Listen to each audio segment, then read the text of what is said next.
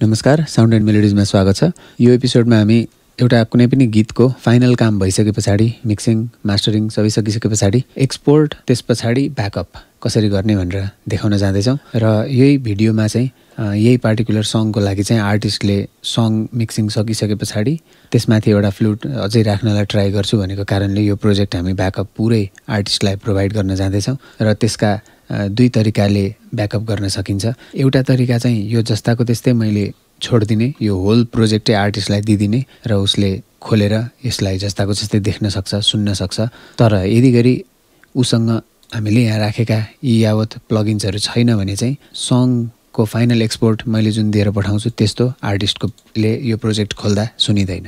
किनकि प्लगिन्सहरू मिसिङ भन्छ र त्यसकारण यी समस्याहरू आउन सक्छन्। डाउन साइड त्यो भयो नत्र प्रोजेक्टमा चाहिँ आर्टिस्टले हामीले जे जे गऱ्यौँ सबै कुरा जस्ताको त्यस्तै यसमा देख्न सक्छ। अर्को चाहिँ के हुन्छ तरिका भने प्रोजेक्टमा हामीले चलाएको इफेक्टहरू सहित ट्र्याकहरू सबै एक्सपोर्ट गरिदिने जसले गर्दा चाहिँ यो सारङ्गीमा भएको एडिटहरू सबै पर्मानेन्टली अब अडियो फाइलमा प्रिन्ट हुन्छ र त्यो अडियो फाइलमा भएको अब इफेक्टहरू चाहिँ नकट घटाउन मिल्छ न बढाउन मिल्छ। भोल्युम मात्र घटाउन बढाउन मिल्छ। र त्यसमाथि नै आर्टिस्टले यो सम्पूर्ण ट्र्याकहरूको फरक फरक च्यानलहरूको अडियो फाइललाई तानेर र त्यसैमा फ्लुट ओभरडप गरेर आफैले फ्लुटको इफेक्टहरू अलिअलि राखेर मिलाउन सक्छ।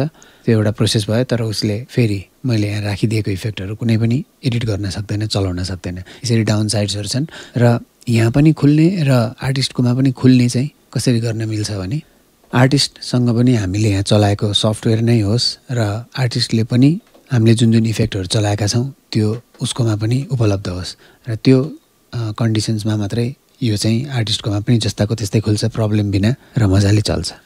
र अब बोलीचालीलाई साइडमा राखेर केही प्रोग्रेस कसरी गर्ने भनेर हेरौँ। अब यो मिक्सिङ सकिसक्यो मास्टरिङ सकिसक्यो बेला हामी एक्सपोर्ट गर्छौँ। File export audio mix down र यहाँ ख्याल के गर्नुपर्छ भने फाइल पाथ चाहिँ एउटा एक्स्ट्रा बनाइराख्ने आफ्नो प्रोजेक्ट फोल्डरमा मेन प्रोजेक्ट फोल्डरमा र मिक्स डाउन एक्सपोर्ट्स भनेर मैले फोल्डर बनाउने गरेको छु। र त्यसमा चाहिँ तिनवटा हामीले एक्सपोर्ट गरिसक्यौँ।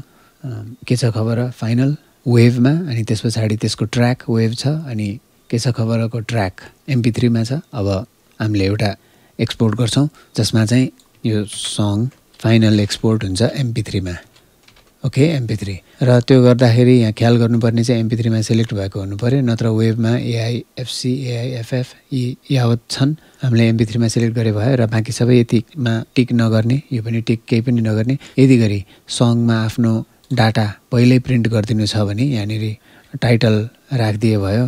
के छ खबर? Artist Pokharel Ashish Pokharel. By the way यो सङ चाहिँ म अहिले यसमा राख्दिनँ। पछि नै राख्छु। र बाई द वे यो सङ चाहिँ छिटै रिलिज हुँदैछ र त्यसको हामीले अडियो अथवा भिडियो हामीले छिटै नै सुन्न पाउँछौँ हेर्न पाउँछौँ। र यो सबै कुरा ठिक छ अनि खाली खाली नै छोडिदिने। इम्पोर्टेन्ट कुरा चाहिँ यहाँ सिङ्गल छ। स्टेरियो आउट चाहिँ क्लिक भएको हुनु पऱ्यो त्यसमा गएर अब हामी एक्सपोर्ट गर्छौँ। ओके सो मलाई ट्र्याकको अडियोमा चाहिँ कन्फ्युजन भइरहेको छ। हामी यसलाई फेरि एक्सपोर्ट गरिदिउँ र फाइनल एमपी थ्री चाहिँ ठिकै छ। यो फाइनल एमपी थ्रीमा चाहिँ मेन भोइस चाहिँ म्युट हुनु भएन। किनकि ट्र्याकमा मात्रै हामीले मेन भोइसलाई म्युट गर्छौँ। र बाँकी सबै छोडिदिन्छौँ। ब्याक भोकल्सहरू सम्पूर्ण यावत कुरा जस्ताको त्यस्तै छोडिदिन्छौँ। र एक्सपोर्ट भयो अनि ट्र्याक एक्सपोर्ट गर्नुको लागि चाहिँ मेन भोकललाई यो मेन भोइस हो सङको त्यसलाई मात्र म्युट गरे पुग्यो। बाँकी यहाँ ब्याक भोकल्सहरू छन् त्यसलाई हामी जस्ताको त्यस्तै छोडिदिन्छौँ र यसलाई हामी फेरि एक्सपोर्ट गरौँ फाइलमा गएर एक्सपोर्ट अडियो मिक्स डाउन र यसको ठाउँ यहाँ फाइनलको ठाउँमा हामीले ट्र्याक लेखिदिन्छौँ र जस्ताको त्यस्तै एक्सपोर्ट गर्छौँ। र ट्र्याक पनि एक्सपोर्ट भइसक्यो र यसलाई हामी फेरि अनम्युट गरेर जस्ताको त्यस्तै छोडिदिउँ। त्यसपछि एउटा ब्याकअप हामीले यहाँबाट बनाउँछौँ फाइल ब्याकअप प्रोजेक्ट र आशिष पोखरेलको यो मेन मेन प्रोजेक्ट फोल्डरभित्र यहाँ मैले फोर आशिष भनेर बनाइरहेको छु एउटा फोल्डर र त्यहाँभित्र ब्याकअप वान भनेर छ। र यहाँ चाहिँ अलरेडी केही फाइल्सहरू छन्। यदि गरी मैले यहाँ यो लगाएर हेर्ने हो भने केही फाइल्सहरू छन्। हामी यो सबैलाई डिलिट गरिदिन्छौँ र नयाँ ब्याकअप गर्छौँ। र फाइलमा गएर ब्याकअप प्रोजेक्टमा गएपछि यो डाइलेक्ट बक्स आउँछ। त्यहाँ हामीले हाम्रो मेन फोल्डर जहाँ गर्नुपर्ने हो ब्याकअप त्यहाँ लगेर राखिदिने। नयाँ खाली फोल्डर हुनुपर्छ। के छ खबर? ब्याकअप वान खाली छ। यसमा सेलेक्ट फोल्डर गर्ने र किप करेन्ट प्रोजेक्ट एक्टिभ अब ब्याकअप गरिसकेपछि यो प्रोजेक्ट चाहिँ एक्टिभै होस्। मिनिमाइज अडियो फाइल्स गऱ्यो भने चाहिँ जस्तै यो दुईवटा अडियो फाइलको बिचमा जुन ग्याप छ त्यो ग्याप चाहिँ पर्मानेन्टली नै काटिदिन्छ जसले गर्दा यो दुइटाको ग्याप चाहिँ घटेर यो सँगसँगै आइपुग्छ अडियोहरू सबै गन्जागोल हुन्छ। त्यो नगर्ने यसलाई अन अनक्लिक नै ठिक छ यो। डाइरेक्ट अफलाइन प्रोसेसिङ पर्मानेन्ट बनाउने भनेको चाहिँ कुनै पनि इन्डिभिजुअल ट्र्याकमा छुट्टा छुट्टै इफेक्ट राख्न मिल्छ। यसो इन्डिभिजुअल इभेन्टमा राखेको चाहिँ इफेक्टहरू पर्मानेन्टली प्रिन्ट गर्ने भए चाहिँ यो क्लिक गर्ने र यदि गरी त्यस्तो राखेको छैन भने यो जस्ताको त्यस्तै छोडिदिने। रिमुभ अनयुज फाइल्स यो प्रोजेक्टमा हामीले काम गर्दै गर्दा कतिपय फाइल्सहरू डिलिट गऱ्यौँ होला। रेकर्डिङ गरि गरिराख्दाखेरिको त्यो मल्टिपल टेक्सहरू जुन जुन चलेन यो प्रोजेक्टमा हामीले अभियसली प्रोजेक्टबाट डिलिट गऱ्यौँ। तर प्रोजेक्टको मेन फोल्डरबाट चाहिँ डिलिट भएको हुँदैन। अनि यदि गरी हामीले रिमुभ अनयुज फाइल्स गऱ्यो भने त्यो पनि हटाएर ब्याकअप गरिदिन्छ। अनि होल साइज घटेर जान्छ। डु नट ब्याकअप भिडियो भनेको छ हामीसँग भिडियो छैन यसमा केही फरक परेन ओके अब केही समय लाउँछ अनि यसले ब्याकअप कम्प्लिट गरिदिन्छ। यसरी ब्याकअप भयो। अब यो सबै फोल्डरहरू यसले सुरुमा बनाउँछ र कुनैमा यदि डाटा छैन भने त्यो डिलिट गरिदिन्छ। अघि त्यो फोल्डरहरू देखिया थियो अहिले छैन। डाटा भेटेन र डिलिट गरिदियो। अब हामीले फाइनली यो अघि हामीले एक्सपोर्ट गरेको सबै चिजलाई चाहिँ कपी गरेर आर्टिस्टलाई दिने फोल्डरमा लगेर यहाँ राखिदिन्छौँ र यसले ओभर राइट अल गरिदिउँ आइपुग्यो। अनि यो चाहिँ ब्याकअप वान भनेको छ। अब यसमा हामीले क्युएस ब्याकअप भनेर बनाइदिउँ। र इनकेस यो फाइल केही गरी डिलिट भयो कपी हुन हुँदाखेरि करप्ट भयो केही भयो भने प्रब्लम हुन्छ। र त्यसै कारण हामीले यसलाई एउटा नयाँ फाइल त्यसैमा बनाएर यसलाई क्युबेसले ब्याक भनेर एउटा फाइल बनाउँथ्यो त्यही हामीले यहाँ बनाइदिन्छौँ। र यदि गरी पछि रिकभर गर्नु पऱ्यो भने यो बिएकेलाई सिपिआरमा कन्भर्ट गरिदिए पछाडि प्रोजेक्ट जस्ताको त्यस्तै खुल्छ। यो दुईवटा फाइल हामीले बनाइदियौँ एउटा फाइल हामीले एक्स्ट्रा बनाएर दिँदैछौँ।